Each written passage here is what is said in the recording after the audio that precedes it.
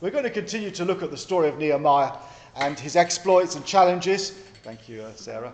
As he sees the walls of Jerusalem rebuilt and the city come back to life after decades of being largely abandoned and in ruin and a, a state of dilapidation. And I have to admit, as I've been preparing this week, God has been testing me on this word time after time, even this morning. And uh, I might uh, share one or two things, but uh, because um, what we're going to look at is focusing, the need of focusing and not being distracted. And boy, have I had distractions this week that have tried to sort of pull me away.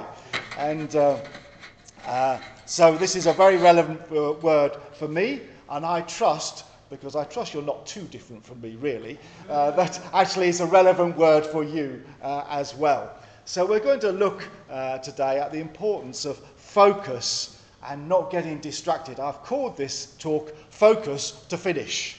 And uh, because focus matters. Uh, one writer has pointed out that you can have all the abilities and opportunities in the world, but if you don't have some focus, you'll never get anywhere, not in your life and not in your service of God either. And uh, I think there's a lot of truth in that. Now, um, uh, my wife Sue, as you will know, she loves her music, she loves to practice. She loves to practice the piano and the double bass, and she's often in the, in the dining room where her instruments are. And when she gets practicing, she is really focused. She does not hear anything else. She won't hear the telephone, she won't hear the doorbell. And if I'm in a mischievous mood, I can come into the room and say, Hi, Sue, and she go, Ah! because, she's so, because she's so focused on, on the music. And um, I think our son Philip, this is not a picture of Philip, this is just for the internet. I think he's picked up some of his, some of his mum's um, ability to focus because I remember very clearly when he was about four or five years old we gave him his first bike. And he was so determined to learn to ride that bike on his own. He didn't want any help. Oh no. and he wouldn't have any stabilizer wheels. And he took it out, and we had a path that went round a piece of ground, piece of earth. And he got on that bike, and he was kind of walking on one foot and two foot and falling off and picking up. And he just kept going for about an hour until he could ride his bike. And he was absolutely determined. That's what he was like. He's still a bit like that. Uh, now, he's focused and he got what he, he wanted. Now, we're all different in, in many different ways, but that doesn't mean that focus is not important for everyone. Important to us as believers that we focus on Jesus. That's what will enable us to be effective in seeing the kingdom of God come more and more in our own lives and in the lives of our community, that we focus on Jesus. The Apostle Paul had this sort of focus, which he showed when he wrote to Timothy in 2 Timothy 4, verse 7, where he said, I have fought the good fight, I have finished the race, I have kept the faith. He knew he was coming to the end of his life, probably by execution, in fact. Um, but he knew that. And he, he, he knew that he, would, he had fought the good fight, He'd finished the race, kept the faith. Later, he was to write to his young, younger, up and coming church leader, Timothy himself. He said to Timothy, Join with me in suffering like a good soldier of Jesus Christ, of Christ Jesus. No one serving as a soldier gets entangled in civilian affairs, but rather tries to please his commanding officer. Remember Jesus Christ, raised from the dead, descended from David. This is my gospel. You see, he's saying to Timothy, be like a soldier. Don't get entangled with all that stuff, with all that stuff that distracts you. But keep focus. Remember Jesus Christ. Remember the gospel. That's where our focus is. That could have been written about Nehemiah, in fact, because Nehemiah too was focused on what God had given him to do. And uh, we've come to the place in the story of Nehemiah, we're going to look at chapter 6 in a minute, where the walls are almost finished, but there's still battles to fight. And it's like, in fact, it's like the enemy is turning up the heat somewhat. And also, you can see that God is teaching them through this adversity that they face to keep focused, keep focused on what God had given them to do. So, where are we in the story? Let me just recap very briefly. We've seen how Nehemiah, um, he'd been in exile in Babylon, and he'd been stirred by hearing how the city of God and Jerusalem was still in ruins with broken down walls, and his heart was moved. And uh, with all the provision of God in the resources and the money and the soldiers and the king's decree that had miraculously come to him, he went from Babylon, where he was comfortable, a rich, wealthy city, to the ruins of Jerusalem. He was a man of vision. He caught a vision. A man of prayer. A man who faced opposition but was learning to keep godly perspective on things. He had a vision. And as Phil Moore puts it, his vision was of a renewed city teeming with God glorifying life, laughter, and worship. I love that summary that Phil Moore has written there. A city, renewed city teeming with God glorifying life, laughter, and worship. And we'll see as we go through this how that's a foretaste of the New Testament picture of the church. That's what the church should be like. And then ultimately of the new Jerusalem that is going to come down from heaven at the end of all things, the dwelling place of God and all his people. The church is a forerunner of that, a foretaste of that. God with his people. So, as a way of reminding ourselves of some key points, I've just picked out some uh, important, stirring verses that we've come across in the first few chapters of Nehemiah, which I'll just put up here um, and read them to you. These are ones we've come across already. This is Nehemiah speaking. He said, The plans God had put in my heart for Jerusalem. God had done something in his heart and revealed something. And then in chapter 2, a bit later, it says, But now I said to them, You know very well what trouble we are in. Jerusalem lies in ruins, and its gates have been destroyed by fire. Let us rebuild the walls of Jerusalem and end this disgrace. There's the call to work for the kingdom of God a bit later in the chapter. Then I told them about how the gracious hand of God had been on me. That was his testimony. And then he says, I replied, The God of heaven will help us succeed. We, his servants, will start rebuilding this wall. God's going to help them. In chapter 4, he says, Don't be afraid of the enemy. Remember the Lord who is great and glorious, and fight for your brothers, your sons, your daughters, your wives, and your homes. That could be a sort of Churchillian speech, couldn't it? and then in 420, when you hear the blast of the trumpet, rush to wherever it is sounding, then our God will fight for us. And Vicky reminded us of how the trumpets were made from the ram's horns so a sheep, a, a, ram was sacrificed for that trumpet. And it reminds us that actually the call to us is to hear the gospel and rush to it. Rush to the gospel when you hear the word of Jesus Christ. And in 5, last week, which Mark read to us, but because I feared God, I did not act that way. I also devoted myself to working on the wall. Stirring verses, aren't they? Aren't they? And now we come to chapter 6. So I'm going to read this. I've put up some of the main uh, parts of chapter 6 up on the screen, but read, it's a good story. So listen to the story. Everyone likes a story, don't they? So uh, let's listen to this story. Three characters it starts with. Let me take a Sanballat, Tobiah, and Geshem the Arab, and the rest of our enemies found out that I had finished rebuilding the wall and that no gaps remained, though we had not yet set up the doors in the gates. So Sanballat and Geshem sent a message asking me to meet them at one of the villages in the plain of Ono. But I realized they were plotting to harm me. So I replied by sending this message to them I am engaged in a great work, so I can't come. Why should I stop working to come and meet with you? Four times they sent the same message.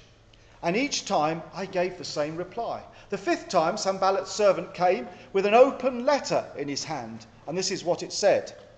There is a rumor among the surrounding nations, and Geshem tells me it's true that you and the Jews are planning to rebel, and that is why you are building the wall. According to his reports, your plan, you plan to be their king.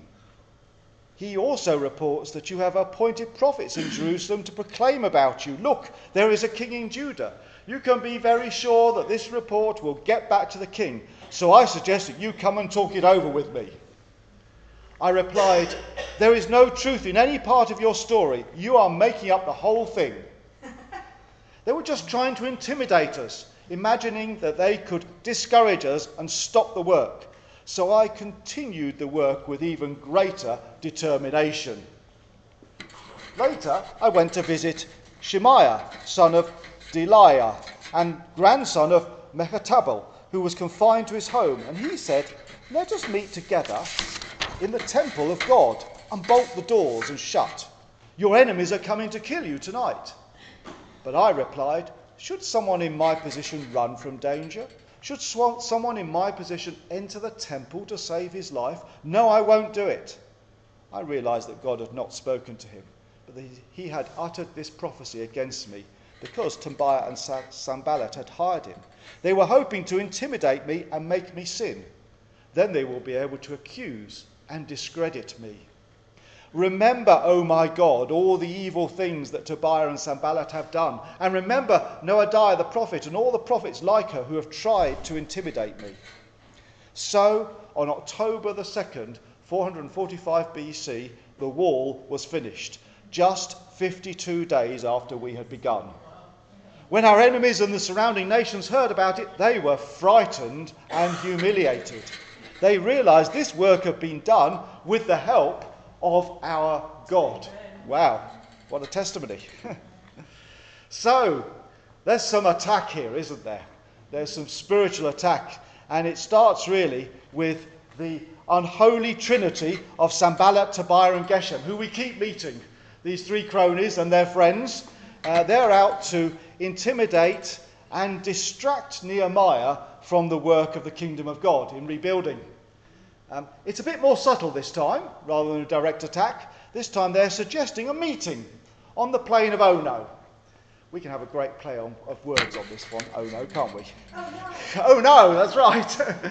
Nehemiah replies, Oh no, you don't. I can't go down there. I'm about a great work up here. I'm not leaving here for you, Nehemiah says. He says, Oh no, to the plain of Ono. It's very, it'll help us to remember it at least. What this attack and distraction is really about is this what do we really value in life? The way to be focused is to know and value the right thing. Do we value the plain of Ono down there, or do we value Mount Zion, the city of God, the kingdom of God up here, and all that that stands for? The plain of Ono was actually geographically lower than Jerusalem. And Jerusalem was up on a mountain. And it's a reminder that when our focus shifts from things that are not God's will, it's always a step down. It's always a step down. Things may be tempting, things may be appealing, but compared to God's ways, it's always a step down to Ono. what we value in life is a key question and will determine where our focus is. Is it on God and his kingdom, or is it down on the plain of Ono? This could be, could be about all sorts of things. It could be about relationships. Is this relationship, which I'm interested in, is it a come up here with God or a come down to Ono type of relationship? Is this relationship leading to you leading you to a better relationship with Jesus or away from him? That's a good question to ask about, about any particularly new relationship you might be pursuing. What about a new job opportunity or a new promotion? What does God get out of it in terms of helping you to live a God honouring life? Anything or nothing? The same could be said about acquiring something new. It looks good, but does it help me or hinder me from focusing on God? And all sorts of other decisions about what we value in life where we spend our money, how much we give, how, much, how, how we spend our time. All these things reflect what we really value in life. I'll tell you a story. Um, quite a few years ago now, um, Sue and I, we were buying our first, what I would call really decent car. We'd had a lot of cars, but most of them were fairly old and very second hand, if you know what I mean. Um, but finally, we, we, we were able to buy what I considered a decent car, a nice looking car. It was, wasn't new, but it was fairly new. It had quite a lot of gadgets on, it went well. I was really pleased with it. But I knew when I bought it, I thought, God's speaking to me about how tightly I'm going to hold on to this car in my heart. I knew that. I knew it could be an issue between me and God. And uh, sure enough, um, about a week after we got the car, um, Sue had a call from uh, our daughter uh, who was about to give birth. Um, would you be able to come up and be with me? So Sue said, Oh, you know, I, can I take the car up to Leeds um, to be with Anna? Um, because, uh, you know, for a while. So I said, Fine, I think it'd be a week or so. And I was left with the, the other car that we had, which was an old banger. Uh, and, uh, um, and Sue went up there, and then Anna was really delayed in having the baby. So it ended up Sue was there for about six weeks. I thought, I was feeling, oh, this is a bit rotten. I can't even drive my nice new car. I've just got this old car left. and I knew what God was saying to me hold it lightly, hold it lightly. And uh, came back, and then about a month later, I was now driving the car, I smelt a sort of oily smell, and we were going to go on holiday with the car, so I better get it checked out. And it ended up it needed a thousand pounds worth of work on the engine because something major. It just just finished its guarantee as well after buying it. So, oh, you know, but you know, God provided as of course He of course He provided. But you know, it's a challenge, isn't it? Um, because we are engaged in a spiritual warfare, we have an enemy that who the the devil who will try to trip us up with all sorts of distractions, often very practical things, often things that are part of life, often things that are not wrong in themselves, but constantly raising the question of who or what am I valuing the most? That question constantly comes to us. That's a, a first line of attack, it seems. Um, as, as, I said, uh, I've had a, week of a number of distractions, in fact, a couple of weeks of a number of distractions. And uh, even this morning, um, I'll tell you this, you'll be all very sad about this, I know. But um, just as I was packing the car with all the church equipment, there was a screech of brakes uh, outside, and uh, a car had hit our cat. Um, yeah, I knew, I knew that would get a response. really sad, but he, he's all right. Well, we hope he's all right. Um, and uh, he sort of scampered off into the, into the hedge. We tried to follow him. The, the driver was really apologetic. It wasn't his fault. Um, yeah, the, the, the uh, cat uh, scampered off into the hedge. We couldn't find him because you know, he was shocked and he was obviously going to hide. And we're trusting that he's going to come back and we'll, we'll deal with that. But I said to Sue, I said, we've just got to not let this get distract us. We're here to worship God, trust, trust God with the cat. But all these things come, don't they? And they're very valid things. And they're, things that do, they're things that do affect us. And uh, so we just prayed there and then. We prayed for the cat. And uh, we prayed for ourselves that actually we will continue to be focused on what God has called us to, to do this morning. So these things are very real. However, it goes on. Because the next line of attack is another common one character assassination. Sanballat writes an unsealed open letter spreading an untrue rumour about Nehemiah and his plans. In today's terms, it would have been a social media post or a tweet or something. And uh, uh, Nehemiah sees through it. He gives a very blunt reply. He's saying, It's untrue and you're just trying to frighten us. It didn't put Nehemiah off at all. But it's a very real thing. It's a very real thing these days, isn't it? Um, it was an attempt to discredit Nehemiah. And then there's another attempt to discredit him as well, this time from someone within his own community, one of his own prophets, tries to lead him astray by suggesting he hides out in the holy temple, which was against God's law for him to do that. Only the priests were allowed into the temple. Nehemiah was not a priest. He's playing on the fear and he's suggesting an easy way out a way that would have actually discredited Nehemiah and given him a bad name. These attacks on character, especially when they come from someone within our own community, are some of the hardest to bear, actually. And it can happen in church too. And we should aim always to make sure we don't engage in those open letters of rumour and gossip. that dishonour or discredit uh, other believers, one another, or someone we know. Um, or even tries to lead someone into something that is not really right, that's a sin. We need to be mindful of one another, wanting the best for one another. In fact, one of the values of Regions Beyond as a, as a family of churches, and therefore one of our values, is to be there for one another's success. To be there for one another's success. Just the opposite of what Nehemiah was experiencing, even from his own people who were actually out to discredit him or were actively trying to discredit him. It's a very real thing. Mark also spoke last week to us about the enemy within, the enemy within of selfishness and self promotion and ambition, which is another way in which the enemy gets in, takes the focus off of following Jesus. So let's be aiming to speak in an honouring way of one another remembering the good in each other, and with words of grace, and yet, when necessary, forgiveness, because people do make mistakes and they do say things that they perhaps shouldn't have said. And we need to have a spirit of forgiveness, not of judgment and harshness. So, how do we, how do we stand against these sort of attacks?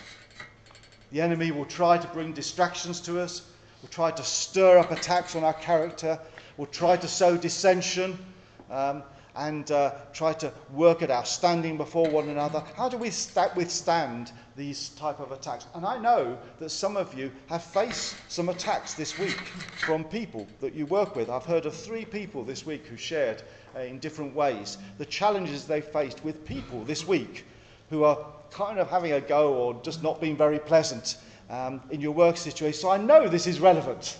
I know this is relevant. How do we, how do we stand?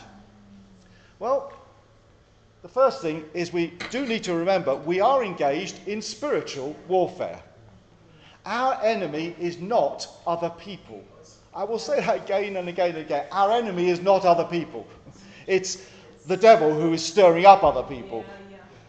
That applies whether it's inside the church or outside the church. Our enemy is not other people. Colossians chapter 2, verses 14 to 15 says, He, that's Jesus, cancelled the record of the charges against us and took it away by nailing it to the cross. In this way, he disarmed the spiritual rulers and authorities. He shamed them publicly by his victory over them on the cross. Jesus has won the victory for us. So we don't attack one another back.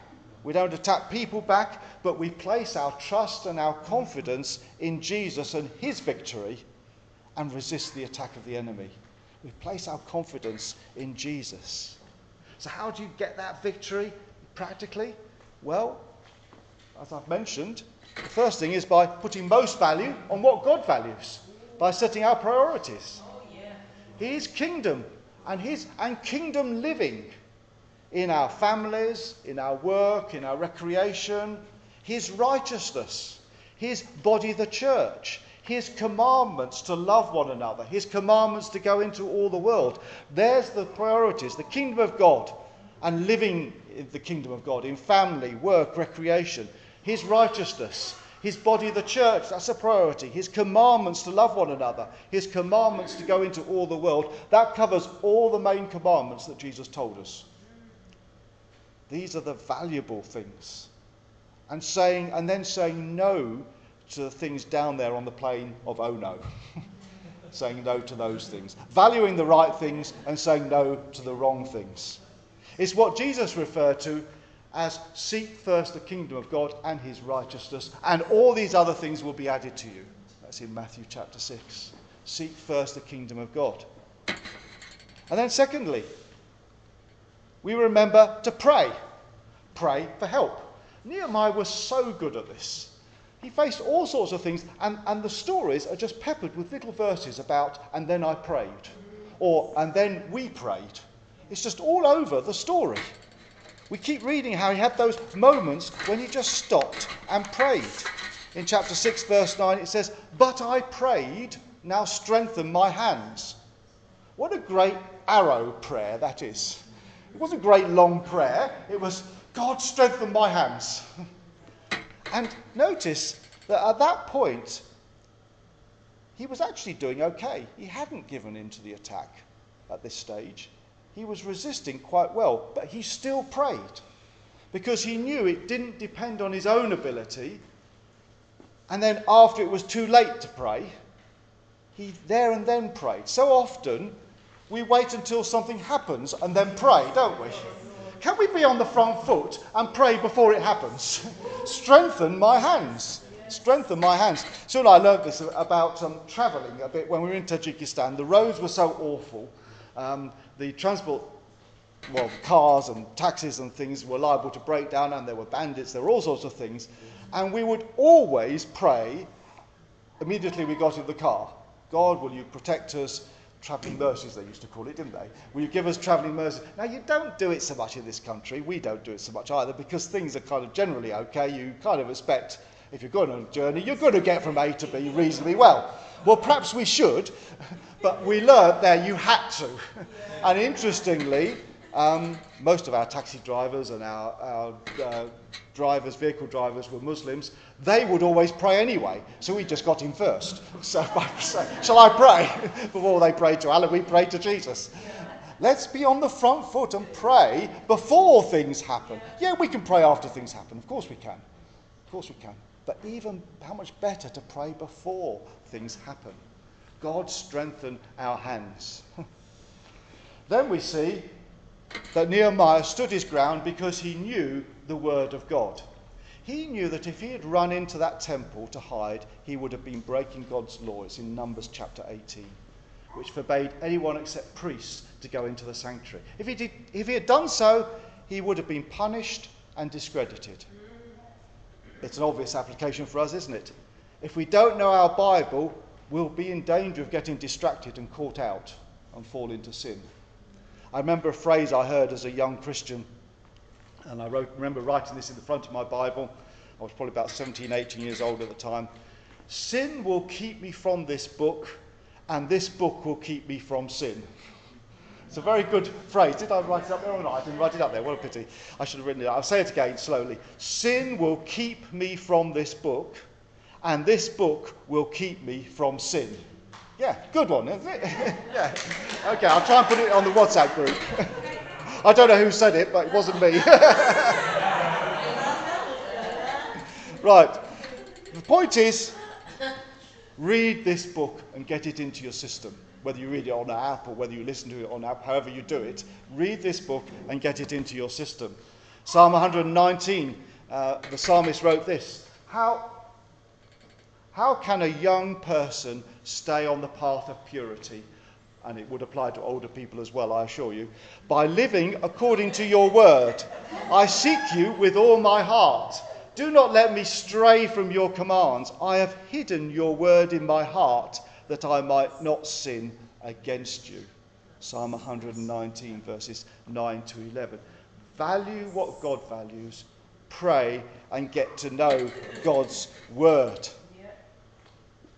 Well, we're coming into land now, and as we conclude, we read these marvellous verses that uh, I read out earlier from chapter 6. See, on October the 2nd, 445 BC, I, wonder, I love the accuracy of the Word of God. it's recorded the date. The wall was finished. Some of our translations don't do that, but they, they sort of have some sort of Jewish calendar word, and others have worked out that that's the date that it was. Uh, October the 2nd, 445 BC. The wall was finished just 52 days after we'd begun. When our enemies and the surrounding nations heard about it, they were frightened and humiliated. They realized this work had been done with the help of God. It says it all, doesn't it? The work was finished. The enemy was defeated, and God was given the glory. The city of God was now protected and could grow and flourish with all the temple worship reinstated, the sacrifices for sin starting off again. And it was done with God's strength, God's protection, with God's wisdom, God's help, and with God's people. And we mustn't forget that. And with God's people. Vicky spoke so well uh, about God's people all being involved in this work of God a few weeks ago.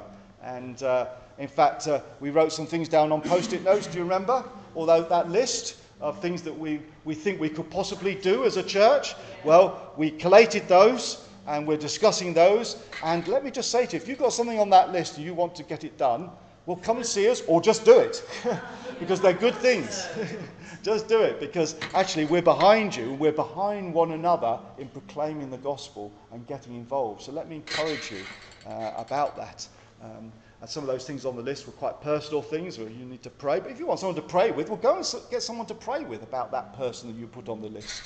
If you want to start a walking group or something like that, well, don't wait for me to say, let's start a walking group. let's start, start a walking group. Get some friends together. We'll get behind you. If you need some support or advice, that's fine.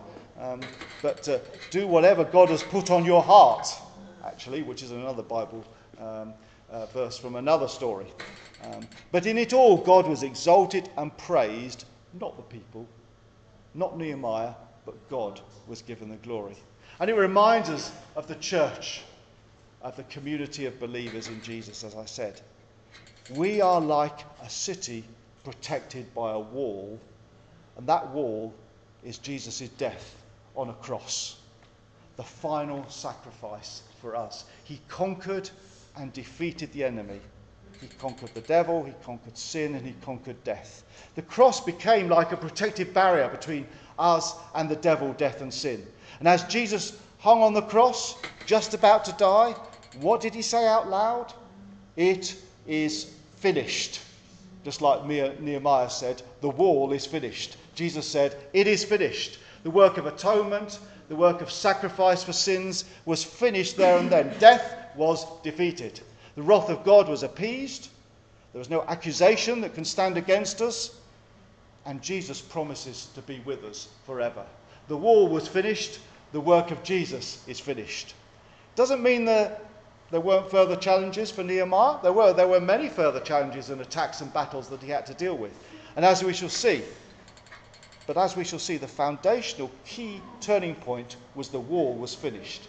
And for us, the foundation is Jesus died on the cross because he loved you.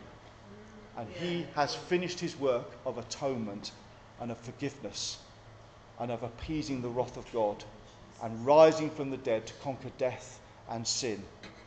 That protective wall of the city was complete, and the death of Jesus on the cross is complete. And it actually happened. Just like we had the date when the wall was finished, we have the date that we remember as Easter Day, but there is a date in history because it was an actual event. It wasn't a story, it was an actual event. Jesus hung on the cross, he was put in the grave, and on the third day, he actually rose bodily from the dead. It's finished. Hallelujah.